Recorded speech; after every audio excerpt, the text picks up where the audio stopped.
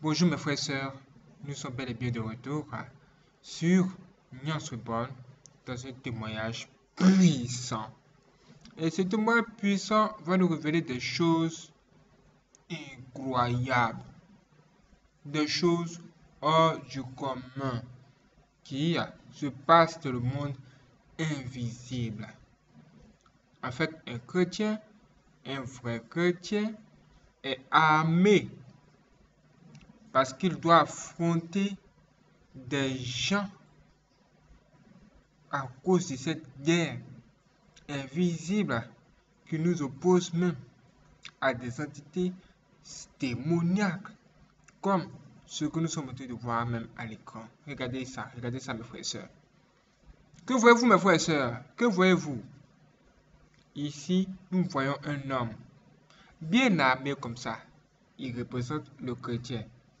Il a une épée qui est la parole de Dieu. Il est bien armé, il est bien couvert et il doit se battre contre la bête.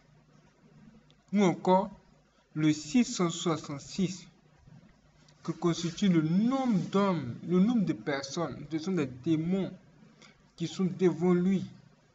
On parle également des légions de démons qui combattent les humains. On nous dit qu'à minuit, les démons patrouillent la terre et ils viennent même regarder même dans les maisons des gens pour voir comment ils vont faire pour attaquer et séparer les gens qui sont mariés. Ce qui est sûr, c'est qu'ici, dans ce témoin puissant, nous allons voir des choses hors du commun.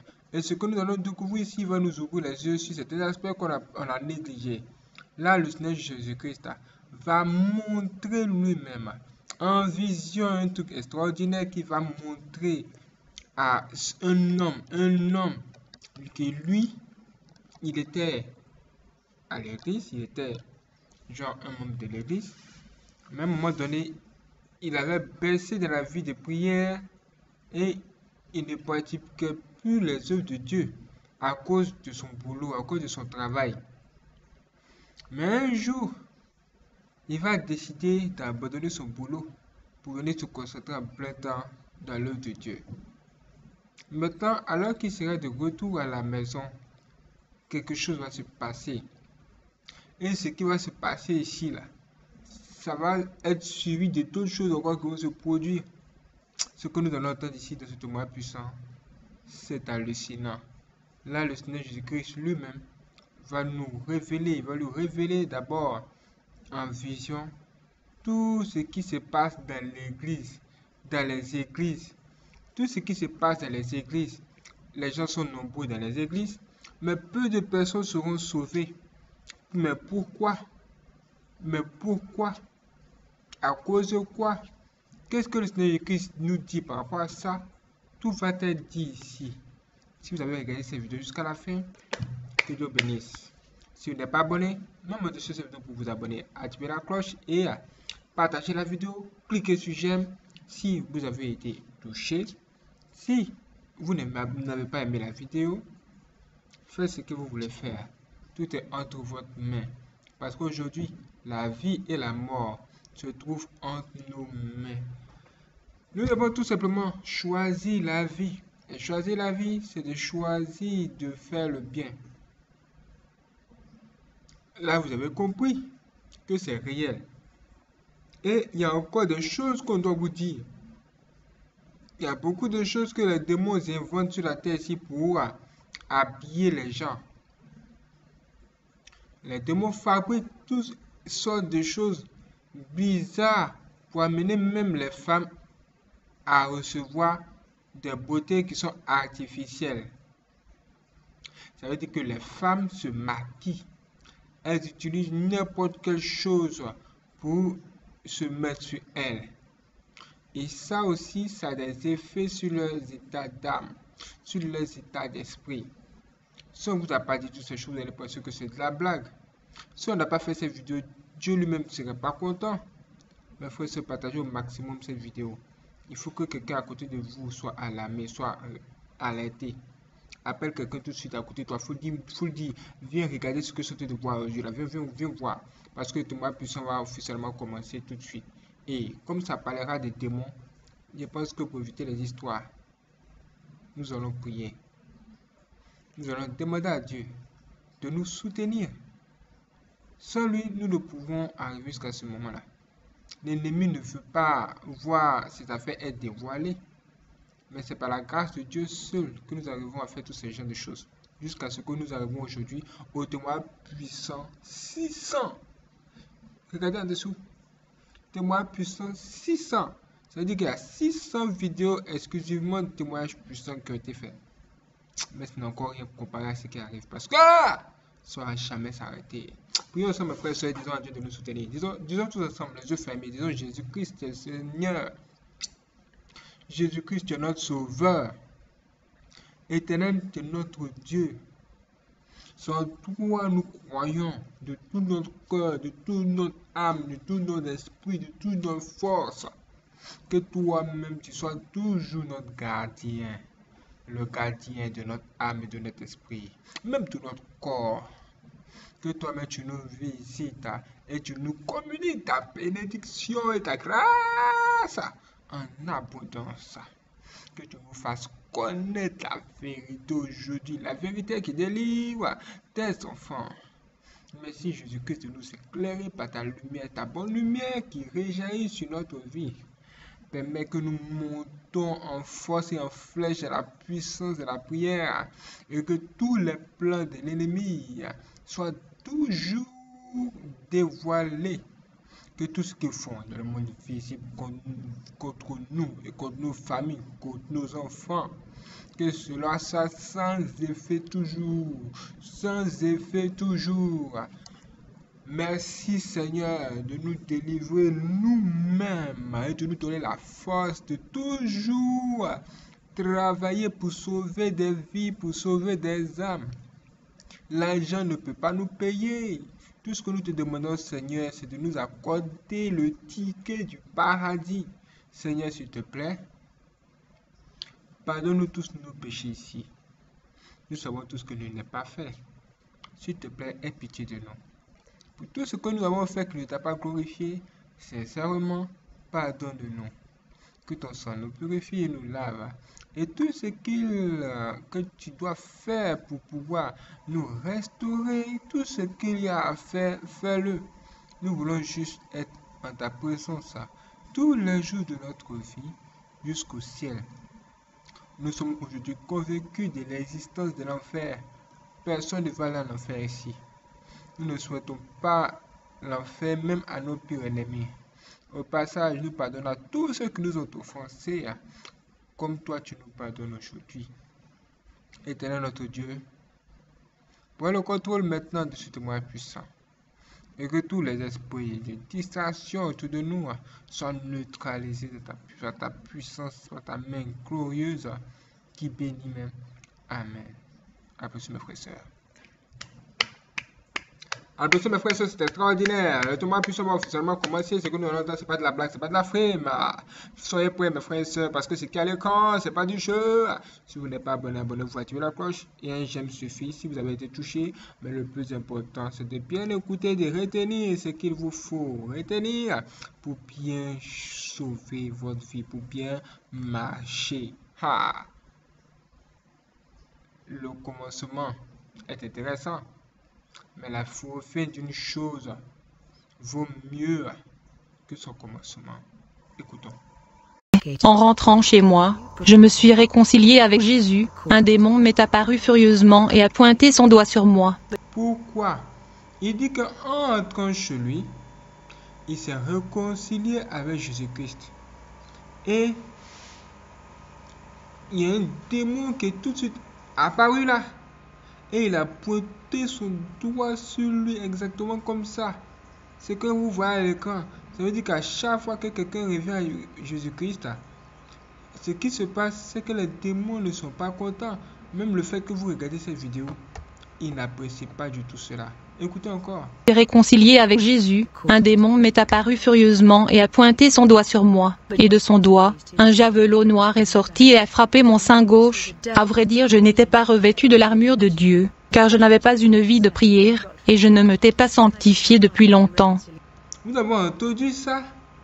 Donc le démon l'a attaqué et s'est Parce que lui, il n'avait plus à un moment donné une vie de prière pour être bien protégé.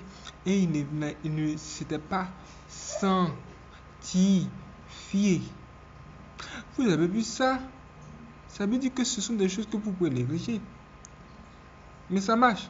Priez beaucoup parce qu'ils sont là autour de vous.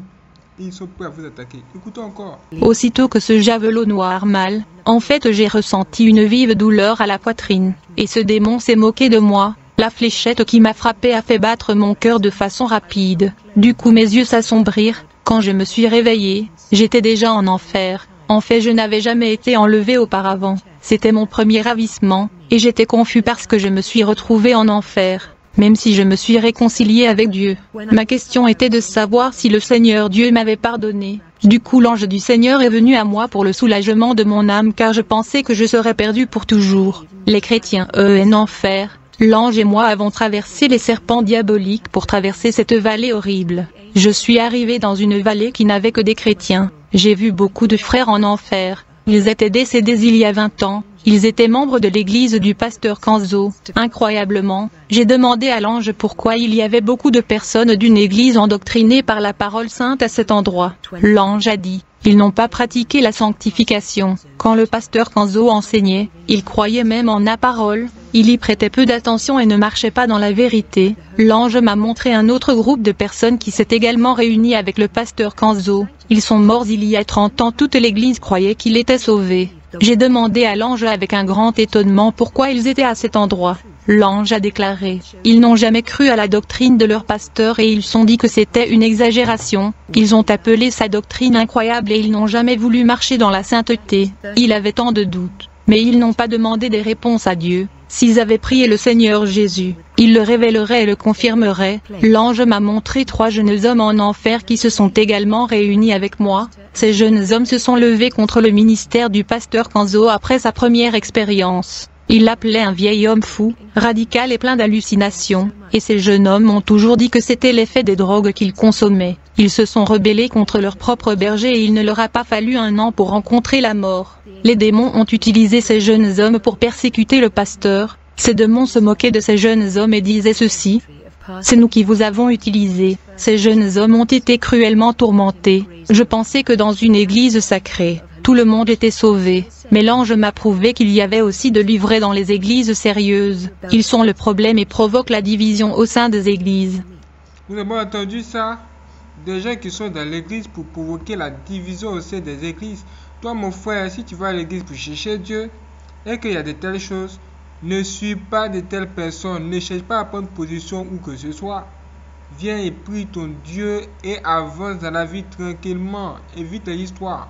L'ange a dit, Regardez combien d'âmes sont perdues dans une vraie église. Maintenant, regardez à votre gauche. J'ai regardé et vu des millions de personnes descendre d'une grande falaise à l'envers. L'ange a dit, ce sont tous les chrétiens des églises. Ils ont marché le long de la voie large et la grande porte. La Bible dit, entrez par la porte étroite, car large est la porte, spacieux est le chemin qui mène à la perdition, et il y en a beaucoup qui entrent par là mais étroite est la porte, resserrez le chemin qui mène à la vie, et il y en a peu qui les trouvent. Notez que le nombre de ceux qui sont perdus dans les églises sans véritable enseignement est plus grand. J'ai été effrayé par ces grands nombres des âmes perdues dans ces fausses églises. Il y a des millions et des millions des âmes perdues. Cela ne se compare pas aux âmes perdues dans les églises qui enseignent la vérité. Le nombre de personnes perdues dans les églises de doctrine est peu nombreux. Seuls ceux qui ne voulaient pas vivre l'évangile malgré l'audition de la parole de Dieu qui leur avait été prêchée n'y arrivaient pas. Il n'y a aucune excuse parce qu'ils ont entendu la vérité. Les églises sans la doctrine de Dieu envoient toutes les âmes en enfer et il y en a des millions.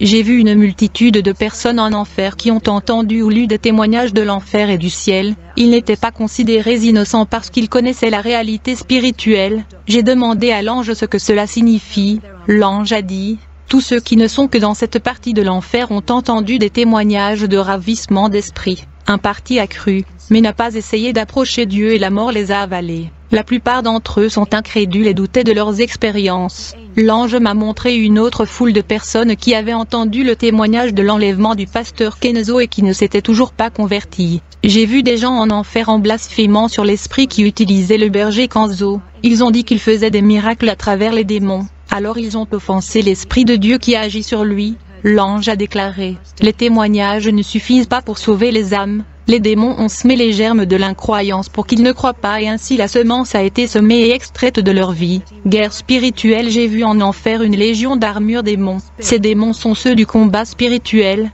dont la fonction est de faire la guerre aux églises, et de l'enfer j'ai vu une église qui a défié ces démons, mais cependant toute cette congrégation qui avait défié les démons n'avait pas l'armure de Dieu pour le combat. L'ange m'a montré qu'ils étaient nus et sans vêtements dans le monde des esprits. Ils ont révélé leur honte aux démons et n'avaient aucune condition spirituelle pour une confrontation et pour faire face à ces créatures. L'ange m'a montré trois églises qui sont pures dans ma ville. Les démons étaient autour de ces églises voulant détruire leur évangile. Ensuite, j'ai vu une petite église et trois démons ont voulu pénétrer à l'intérieur, mais ils n'ont rien trouvé d'anormal dans cette église pour obtenir une entrée légale. L'un de ces démons est celui de la prospérité, et l'autre est celui de maquillage. Le troisième était celui de froideur spirituelle. Ces démons ne pouvaient pas s'infiltrer dans cette petite église. L'ange a dit, Savez-vous qui est le pasteur de cette église?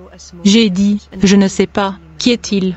L'ange a déclaré, Cette église est du berger Robert Atsushi qui bloque l'entrée de ces démons dans le ministère par la pureté de la parole, défendant le Saint Évangile, s'il permet à l'un de ces trois démons d'entrer dans son ministère, il sera détruit. En fait Satan a envoyé un prédicateur célèbre dans son église, il était accompagné du démon de la froideur spirituelle, ce prédicateur a déclaré, Ma renommée attirera une foule nombreuse dans votre église et votre ministère prospérera. Tout pasteur qui aime le nombre de personnes accepterait cette proposition, mais le pasteur Robert a décliné l'invitation. Puis Satan a envoyé un chrétien riche qui était expert en théologie de la prospérité. À côté de ce riche se trouvait le démon de la prospérité. Ce riche chrétien a promis de donner au pasteur Robert la dîme d'un million de dollars et de payer tous les frais de sa nourriture, ainsi que des billets d'avion pour qu'il puisse effectuer des missions n'importe où.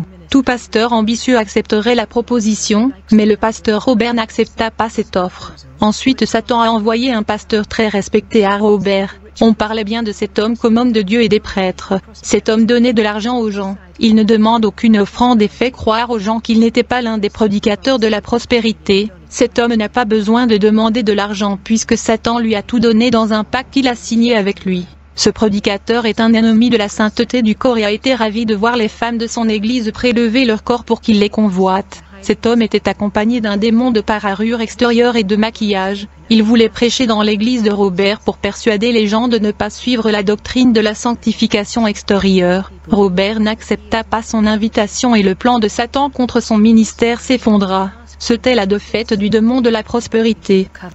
Vous avez vu ça, des gens qui viennent dans l'église pour essayer d'intimider les gens avec leur argent. Si vous voyez des gens même venir près de vous, venir juste pour vous offrir des cadeaux du genre Ah, tiens, tu es chaud, tu es gentil, tiens, cadeau.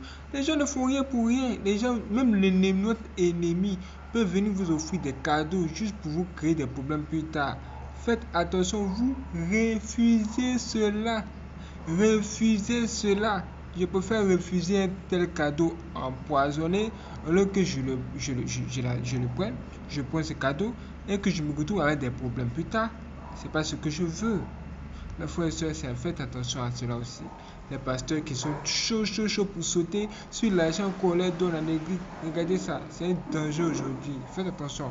Le démon de parure extérieure et maquillage, et celui de froideur spirituelle, Satan a envoyé plusieurs chrétiens se rassembler dans l'église, des gens prêts à faire le travail. Robert a remarqué l'assaut de Satan et n'a pas accepté ses membres. Ses membres étaient pleins de poison de fausses doctrines voulant s'assembler avec lui et tenter de corrompre les brebis lorsque le pasteur allait se rendre dans ses missions. J'ai vu comment ces chrétiens étaient possédés et déguisés en brebis pour détruire le ministère de Robert. À ce moment-là, le pasteur était en guerre spirituelle et j'étais très étonné du grand homme de Dieu. L'église que son père a laissé a profité de son absence pour répandre des rumeurs selon lesquelles il s'était égaré. Il vivait déjà dans un autre pays lorsque Satan a utilisé la bouche de chrétiens pour diffamer ce serviteur de Dieu. Livre de la vie L'ange est monté avec moi au ciel et m'a montré le livre de la vie. Et le nom du pasteur Robert a été écrit dans ce livre dans une autre langue. C'était son nouveau nom en train d'être réservé quand il sera arrivé. J'ai demandé à l'ange, où est mon nom?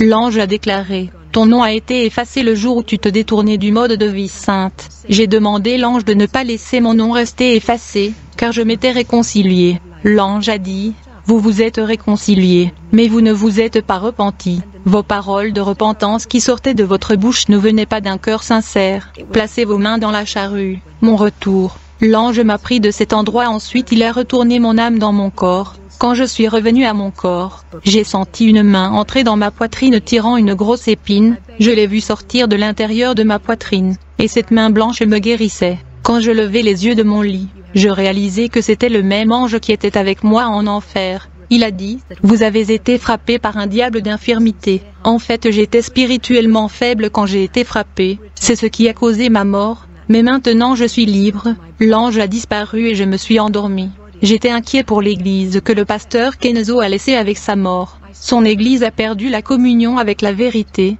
Les leaders restants ont échoué à garder les mêmes enseignements. Il ne sert à rien de faire partie d'une église de doctrine si vous ne vivez pas la sainteté prêchée. De toute façon, Dieu ne veut pas de membres, mais de praticiens de la vérité. J'ai commencé à prier et ma communion avec Dieu est devenue plus forte. Puis Jésus m'a montré un groupe de personnes en robe blanche et leur visage brillait. Je n'ai pas vu le Seigneur Jésus dans la vision, mais j'ai entendu sa voix. Il était juste en train de me montrer les visions. J'ai demandé à Jésus, Seigneur, qui sont ces gens en blanc?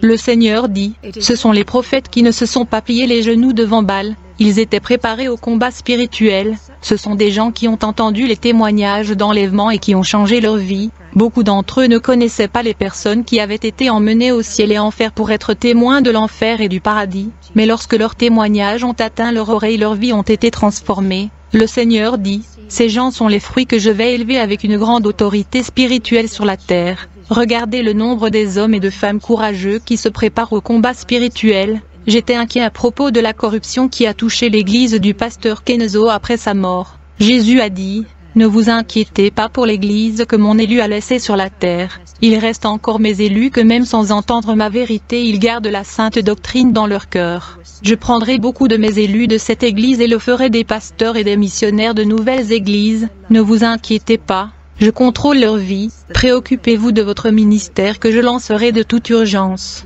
Vous serez le pasteur d'une nouvelle église qui va survenir, tu vas plutôt nourrir mes troupeaux bientôt. En recevant cette révélation, j'étais excité. Quand Élie est allé au ciel, Dieu a ressuscité Élisée. La Bible montre toujours clairement les prophètes qui sont morts et d'autres qui ont été suscités pour le remplacer car le travail de Dieu ne peut pas s'arrêter, et vous qui priez peut être le prochain prophète à être ressuscité par Dieu. Le Seigneur dit, J'enverrai mes serviteurs dans de nombreux villes babyloniens où le péché règne. Jésus confrontera les principautés démoniaques qui dominent ces villes. Il luttera contre le péché et délivrera mes élus qui souffrent aux mains de Satan dans ces lieux. Dans la vision, le Seigneur Jésus a mis un anneau d'autorité sur mon doigt. Jésus a dit, vous dirigerez un peuple que je mettrai entre vos mains pour le préparer à ma rencontre. Jésus m'a montré un prêtre vêtu de vêtements sacerdotaux, très ancien du temps de Moïse. J'ai demandé à Jésus, Qu'est-ce que cela signifie?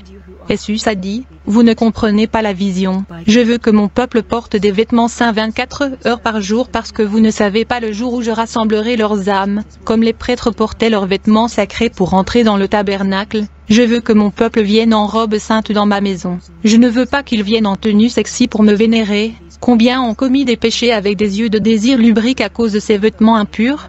Les corps saints sont corrompus à cause de ce vêtement sensuel, et ma maison est souillée par le péché de la nudité. Ces femmes ont été des pierres d'achoppement et ont provoqué des désirs charnels pour créer de mauvais désirs dans leur cœur. Jésus a dit, il y a des choses abominables dans les maisons de mes serviteurs. Jésus m'a montré des CD, des télévisions, des images et des affiches de chanteurs qui ne sont pas chrétiens. D'autres avaient des images de chanteurs estampillés sur la chemise. Les serviteurs de Dieu conservaient les vêtements du monde sous forme de shorts, de mini-blouses et de pantalons serrés. J'ai aussi vu un produit de magasin sexy à l'intérieur des armoires. Jésus a dit, dites-leur de retirer tout ce qui attire le péché et de jeter ces abominations qui sont à l'intérieur de leur maison et qui leur infligent des malédictions. Peuple de Dieu, Jésus s'est-il peint et a-t-il mis des boucles d'oreilles? Il a dit, soyez saints, comme je suis saint. Le Seigneur Jésus-Christ m'a montré le combat spirituel des légions terrestres contre un groupe de personnes en blanc. Les robes blancs de ce peuple saint dérangeaient les démons. Ce ne sont pas les légions d'air qui ont attaqué cette fois, ce sont les légions de la terre qui tuent, détruisent et égorgent. En fait j'ai vu que ces groupes de chrétiens marchaient vers une très belle ville. Les démons ont essayé d'empêcher les peuples de Dieu d'arriver à destination. Ils ont formé une grande barrière empêchant les saints de continuer à avancer vers la ville céleste. Du coup j'ai vu ces groupes de chrétiens qui ont commencé à reciter des versets bibliques contre les démons. En conséquence les épées sortirent de leur bouche et frappèrent ces démons. Les démons ont été forcés de laisser cet peuple de Dieu suivre le chemin menant à cette belle ville éternelle. Mais cependant dans ce groupe, il y avait un jeune homme ayant de vêtements sales. Ce garçon a été saisi par les démons. Le démon lui a dit, Tu n'entreras pas dans cette ville sainte car le roi ne t'acceptera pas comme tel. Le garçon dit, Nous vous avons conquis dans cette guerre. Nous avons le droit d'entrer dans la ville du roi. Les démons ont dit, ils ont vaincu nos légions par la parole qui sort de leur bouche. Ils ont vaincu en changeant leurs vêtements, en enlevant ceux qui étaient sales et en portant ceux qui étaient propres. Ils ont obéi aux commandements et instructions du roi. Pour votre disqualification vous n'avez pas suivi les lois du royaume céleste du roi. Vous n'avez pas changé de vêtements pour mettre de vêtements blancs et n'avez pas obéi aux règles en enfreignant l'ordre du roi. Vos vêtements sont impropres et donc vous ne pouvez pas entrer dans cette ville et prendre part au festin du roi. Les serviteurs du roi ne vous laisseront pas dans le palais. Vous n'avez pas changé vos robes du monde et n'entrerez pas car le roi vous a laissé entre nos mains. J'ai vu le garçon se mettre à pleurer de ne pas pouvoir entrer dans la ville du roi, en restant en dehors de la fête. Jésus m'a révélé la vision disant que beaucoup seront laissés de côté quand il reviendra. But when the king come into cette guest, no did you, king told will be tiens et méchant. Ceux qui ne servent pas Dieu font du mal aux gens qui me servent. Ceux-ci entraînent les serviteurs de Dieu dans les ténèbres. Jésus m'a révélé que ces serviteurs n'ont aucune patience et ils épousent les méchants pour satisfaire leurs désirs de la chair. Ils ne prient pas pour le bon conjoint et ne s'attendent pas à ce que Dieu réponde à cette prière. Il en résulte un divorce contraire à la volonté de Dieu. Jésus m'a montré une femme en robe de mariée. Cette femme a marché sur une route et il y avait beaucoup de barrières sur son chemin. Et derrière cette grande barrière de pierre, un loup noir se cachait pour la dévorer. Cette femme n'est pas passée par le chemin de pierre et a fait un grand virage. Cette femme savait que le fou attendait en cachette pour l'attaquer dans la révélation. Jésus m'a dit que l'Église devait faire preuve de vigilance pour ne pas tomber dans les griffes de Satan. Jésus m'a montré les martyrs qui sont tués dans les pays musulmans. Jésus m'a dit, les démons veulent paralyser son vent en utilisant les hommes qui détestent ma parole. Mais le sang de ses frères ne seront pas versés en vain. Leur mort n'était pas leur défaite. Ils sont au paradis. La principauté de cet endroit est tombée, car l'évangile y est entré et le prince des ténèbres qui apostrophe commandé ce territoire s'est affaibli. Les légions de démons que j'ai vues à cet endroit ont essayé de dresser des barrières pour empêcher l'évangile d'y entrer. Ils ont utilisé ces hommes sanguinaires qui ont enlevé la vie des serviteurs de Dieu. Ils sont morts, mais la parole qui sortait de leur bouche était là. La parole de Dieu ne peut pas mourir, car elle est éternelle et garantit la vie. Jésus m'a montré que plus de martyrs verseraient leur sang et mourraient dans la grande persécution. Jésus m'a dit que le vent soufflerait pour tester les fondements, qu'elle soit construite sur le roc ou dans le sable, qu'elle soit construite en vérité ou en fausse doctrine. Peuple de Dieu, où fondez-vous vos racines?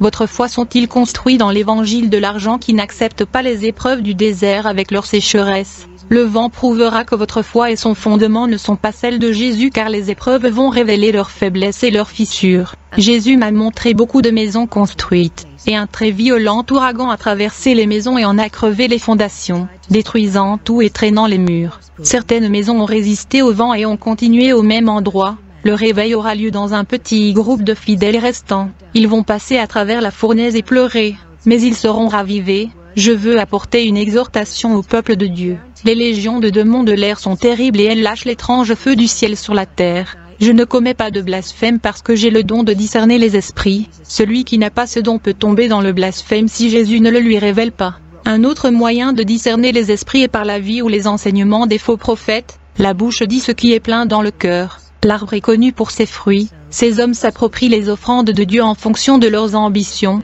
Jésus m'a montré trois hommes cupides. Ces trois hommes ont été appelés à comparaître devant le roi. En entrant dans une pièce, ils se présentèrent devant le roi. Le roi ouvrit un rouleau et jugea ces trois hommes. Le roi se fâcha contre les trois hommes et ordonna aux chevaliers de la cour de les conduire au hangar. Les trois hommes ont été décapités. Un autre jeune homme est arrivé plus tard pour être jugé. Ce jeune homme qui était venu au procès était moi. J'avais peur d'être condamné à mort.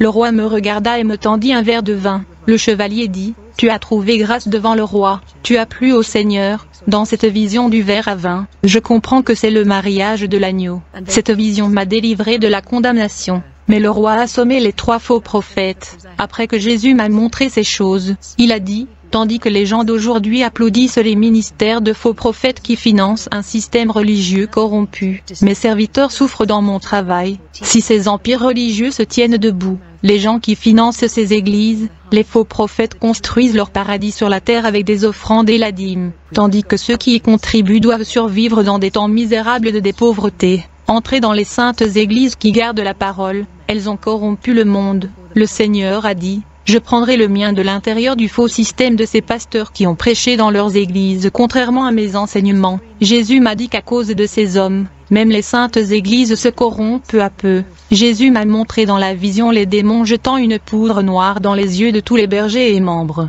Ces hommes, aveuglés, ont commencé à croire en la prédication des faux prophètes. Les bergers qui ont autrefois servi Dieu ont commencé à croire en une fausse prédication. La compréhension des bergers a été aveuglée par cette poudre noire. Quelle vérité ils croyaient auparavant Ils ont maintenant cessé de croire. Ce qui était une saine doctrine et la sainteté était maintenant considéré comme du légalisme et de la religiosité. Ils ont commencé à mépriser la parole de réparation et à renoncer au monde, faisant peu de péchés. Dans cette vision sont apparus de chrétiens qui ont essayé d'ouvrir les yeux de ces bergers qui sont tombés. Ces bergers ont une fois épousé la saine doctrine. Maintenant, ils ne voulaient plus croire la parole et se moquaient toujours de l'enseignement de la sanctification. Ces pasteurs ont déclaré, ces enseignements ont été prêchés dans le passé. Le temps présent est différent. Il s'agit d'une nouvelle génération et nous le sommes aujourd'hui. Les doctrines ont été innovées et adaptées à cette génération. Les deux chrétiens qui ont essayé de les alerter du danger étaient tristes. C'était le Saint-Esprit qui était affligé en eux. Les deux chrétiens se sont retirés de la présence de ces bergers. Jésus m'a dit, cela ne sert à rien. Leur esprit a été assombri par la duperie. Ils sont aveugles et ont besoin d'être guéris de leur aveuglement. Jugement Jésus m'a montré leur jugement. L'idolâtrie de l'argent, des maisons, des appartements, des voitures ou de toute propriété sera un obstacle majeur au salut. L'Église qui adore le matérialisme est vouée à la destruction. Il y a beaucoup d'incroyants qui sont à l'intérieur de l'Église. Dans la vision, une épée est descendue du ciel contre ces hommes. Jésus m'a dit à cause des cœurs amoureux de l'argent et des choses matérielles, il y aura une augmentation des tremblements de terre pour détruire les dieux matériels auxquels beaucoup de gens s'accrochent. L'Église qui est dans le péché et ne veut pas se convertir tombera dans les griffes de Satan, et les élus fuiront de ces temples et se rassembleront pour adorer Dieu ailleurs. Jésus m'a dit qu'il enverrait des tremblements de terre, des tsunamis et des ouragans à cause de faux prophètes. Leurs iniquités ont déjà atteint Dieu. De nombreux innocents vont mourir à la suite de catastrophes physiques. Et cela se produira à cause des faux prophètes. Dieu purifiera les églises qui lui obéissaient mais sont maintenant remplies de faux et désobéissants prophètes dans la chair. Jésus m'a montré en vision les tremblements de terre et les tsunamis tuant beaucoup de faux prophètes avec des millions d'innocents. Les maisons et les appartements des faux prophètes ont été détruits par les tremblements de terre. Ils ont été condamnés à cause de leur corruption. Dieu pointera son doigt aux quatre coins du monde. Chaque pays en subirait les conséquences à cause du péché. Les tremblements de terre, la maladie, la famine et la mort vont se multiplier pour ravager le monde. Jésus m'a dit qu'il préparait déjà son épouse et que les dernières bénédictions seraient versées aux fidèles, tandis que les châtiments seraient punis par la vie des rebelles. Jésus m'a montré une main géante mesurant le globe avec une ficelle. Il y aura une nouvelle construction d'un nouveau ciel et d'une nouvelle terre, mais la planète sera détruite. Le jour du jugement des juges, avocats, hommes politiques, les faux prophètes arriveront, car ils ont soutenu l'injustice sur terre. Livre évangélique Jésus m'a montré des éditeurs de livres évangéliques. Ces éditeurs ont commercialisé la parole de Dieu, enrichissant les éditeurs, ils vendent la parole de Dieu et tout l'argent n'est pas pour aider les nécessiteux, les propriétaires d'éditeurs évangéliques s'enrichissaient chaque jour davantage. Antichrist Biste Vatican Pape Église catholique Jésus m'a montré un monstre avec plusieurs têtes qui provenaient des profondeurs de la terre. Ce monstre est allé en Italie et s'est assis sur le trône du Vatican. Et puis cette terrible créature a été transfigurée en pape. Il a réuni toutes les religions par le biais d'une nouvelle loi œcuménique. Les églises qui n'ont pas accepté et refusé cet accord ont été persécutées, car le décret donnait des pouvoirs au Vatican. Après cette vision, le Seigneur Jésus m'a dit de retourner dans mon corps. Je suis revenu à la terre et était dans ma maison. J'ai prié Dieu et dit, Seigneur, que signifie sa vision du Vatican? Jésus m'a dit que l'Église ne se lèverait pas avant que les signes ne soient accomplis. Je veux dire à l'Église que les serviteurs de Dieu verront l'Antéchrist. Cela va être le plus grand signe du retour de Jésus, et beaucoup en voyant l'Antéchrist se réveilleront dans leur prière et le dernier réveil viendra sur ceux choisis qui seront enlevés. L'Église passera par la tribulation. Jésus m'a répondu, Fils, après tant de révélations sur l'Église, tu as encore des doutes. Je t'ai tellement parlé et tu ne comprenais toujours pas. Après ce message, j'ai médité sur la parole de Dieu, raptage secret après ces révélations, j'ai prié Jésus de voir s'il y aurait un enlèvement secret. Jésus m'a montré une vision d'un figuier vert, il a dit, les fruits ne sont pas mûrs. Si je venais pour obtenir l'Église à l'avance, je n'aurais aucune récolte. Beaucoup n'en seront pas conscients et ne seront pas sauvés. Je dois préparer le peuple à travers les signes et les prophéties du temps de fin, Église de Dieu. J'ai reçu cette révélation, lorsque l'Église sera enlevée, il n'y aura plus de seconde chance. Avez-vous entendu parler d'une seconde chance pour ces vierges endormies qui n'avaient pas d'huile? Avez-vous déjà entendu parler d'une deuxième chance après l'inondation? Quand les portes de l'arche furent fermées, elles ne s'ouvrirent plus à personne, s'il n'y aura pas de salut après l'enlèvement, alors qui sont les martyrs? Les martyrs qui mourront ne sont pas le peuple après l'enlèvement, ils mourront avant l'enlèvement. Numéro 3 Je tiens à préciser le numéro 3. Dans le jardin d'Éden apparaissent trois créatures, Adam, Ève et le diable. Na a eu trois fils qui ont colonisé le pays après le déluge. Abraham a été visité par trois anges. Joseph d'Égypte avait trois rêves, en Égypte. Il y a eu trois jours d'obscurité. Daniel a prié trois fois par jour. Le temple de Salomon était divisé en trois parties. Le prophète Jonas a passé trois jours et trois nuits dans le ventre de la baleine. Matthieu a vu trois personnes au moment de la transfiguration qu'était Jésus, Moïse et Élie. Jésus est ressuscité le troisième jour après sa mort. Trois étaient les sages qui ont apporté des cadeaux à Jésus quand il est né. Pierre a renié le Christ trois fois. Apocalypse. Vous avez vu ça Mes frères et sœurs, ce sont des révélations. Et de telles révélations, on ne joue pas avec. Vous voyez ce qui se passe dans les églises. Ça veut dire que ce n'est pas du jeu. Nous devons entrer dans cette guerre et être sauvés. Il n'y a plus de temps, il n'y a plus de temps, mes frères et sœurs. Nous devons ranger nos vies maintenant. C'est maintenant que tout se passe. Range ta vie, marche dans la droiture, évite l'injustice, évite la corruption et évite les histoires de copines passées par là. Tu es un chrétien et tu des histoires de copines. Qu'est-ce qui ne va pas avec toi? Abandonne toutes ces choses. Dieu veut te visiter aujourd'hui. Abandonne tout ce qui ne plaît pas à ton Créateur. Dieu veut te sauver. Aujourd'hui, Dieu nous parle. Et ce témoignage est un témoignage très puissant. Et nous découvrons des choses hors du commun. Qu'est-ce qui vous a le plus marqué de ce témoignage? S'il y avait une chose qui vous a le plus marqué dans ce témoignage puissant, réagissez dans la partie commentaire et sans doute et peut-être, si Dieu le veut, puisque c'est Dieu qui nous inspire, si Dieu le veut, nous ferons une vidéo pour essayer de répondre à votre préoccupation. N'oubliez pas que vous pouvez partager cette vidéo tranquillement. Nous vous donnons l'autorisation de la partager. Et, et que vous pouvez également vous abonner sur nos trois autres chaînes. Quand vous cliquez sur cette vidéo, vous avez accès direct à la page d'accueil où vous verrez toutes nos trois chaînes qui sont là. Et même des vidéos populaires, les vidéos populaires. On vous a parlé du témoin puissant 600. Demain même, il y aura le témoin puissant 601. Ça veut dire que chaque jour, de nouvelles choses, des témoins de ce type vous attendent ici. Juste pour vous informer. Juste pour vous garder sur le bon chemin. Juste pour éveiller les gens. De sorte que les gens puissent sortir de leur péché, revenir à Dieu et se repentir sincèrement. Moi, ce qui m'a touché, c'est le fait que ce ange a dit à cette personne que lui, il n'est pas, admis à l'autre paradis, tout simplement parce que il ne s'est pas repenti sincèrement. C'est pourquoi son nom n'est pas écrit dans le, dans le livre de vie. Il dit, mais je m'étais repenti. Il dit qu'il n'était pas repenti sincèrement. Les gens viennent à l'église pour faire plaisir aux parents. Les gens viennent à l'église pour faire plaisir à ceux qui les entourent. Or, le salut est personnel. Celui qui n'est pas sincère de cette histoire sera dans tous les problèmes possibles. C'est une histoire de Dieu et toi. C'est une histoire de vie, de mort. Vous-même regardez le camp, est-ce que ça c'est un jeu?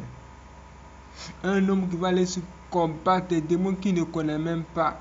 Si tu ne connais pas ton ennemi, ce sera difficile pour toi de le vaincre. C'est pourquoi ce bon année. Pour te révéler tout ce que tu dois savoir sur qui sont véritablement tes ennemis. Tu connais sans doute le diable et ses démons, mais aussi des humains qui sont tes ennemis qui sont là, comme les faux pasteurs, les faux prophètes, tous ces gens qui parlent de l'évangile de la prospérité à longueur de journée, même qui empêchent les gens de payer leurs dîmes. Oh, c'est une loi établie par Dieu. Mes frères et sœurs, faisons tout ce qui est notre possible pour aller au paradis. Priez pour nous. Et moi aussi, je prie pour vous tout au long de cette semaine et même des jours à venir. Et Dieu lui-même nous donnera la force de toujours rester sur le beau chemin. Parce que sans lui, nous ne pouvons pas, nous ne pouvons rien faire. Que Dieu bénisse ses frères et sœurs. Prenez soin de vous et prenez soin de votre famille.